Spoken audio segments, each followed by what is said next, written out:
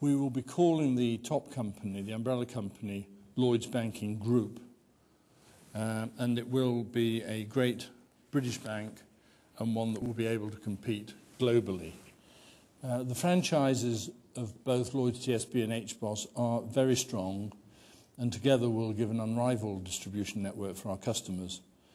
Um, as you know, we've always put customers at the heart of everything uh, that we do. You've heard before about how we reckon that our success is based on uh, relationship banking, and, and that relationship banking will continue to be at the heart of all that the Enlarged Group does. On top of that, um, and you'll hear a little bit more from Eric in a minute, we will have in the Enlarged Group great capital strength and diverse funding capabilities. It means that Lloyds TSB, which has already demonstrated a strong track record of delivery with a prudent risk appetite, will be well positioned uh, for the future.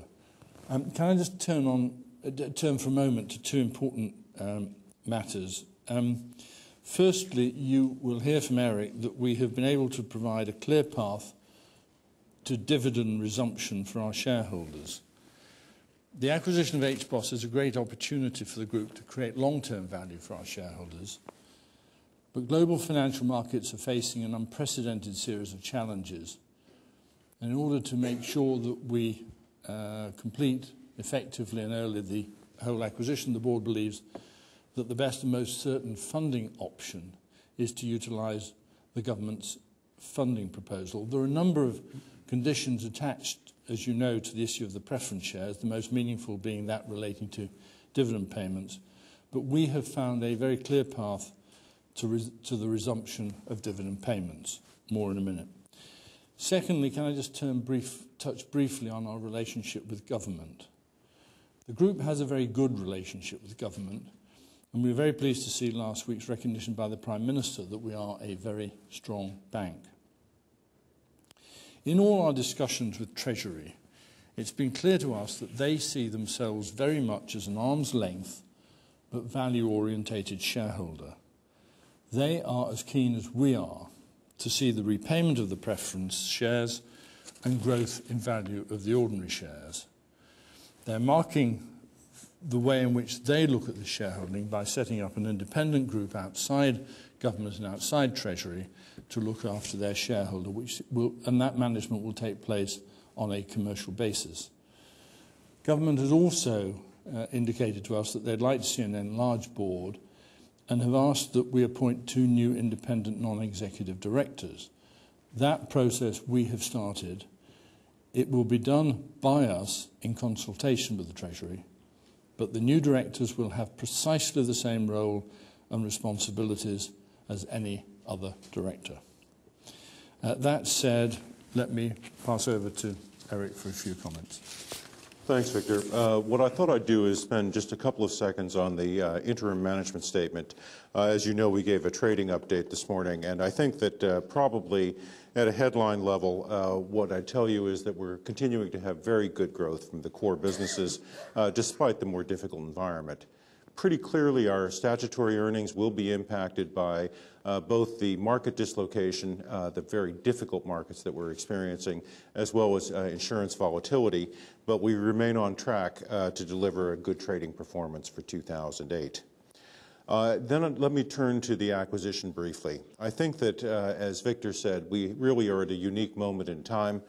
this is a compelling transaction very clearly, uh, one of the things that uh, we did was as we went through our diligence, uh, we wanted to uh, ensure ourselves on three fronts. Uh, the first was capital, second was funding, the third were impairments. Uh, and I'm very happy to report that after 5,100 days of diligence and verification of the impairment levels, we feel very comfortable with the combined entity.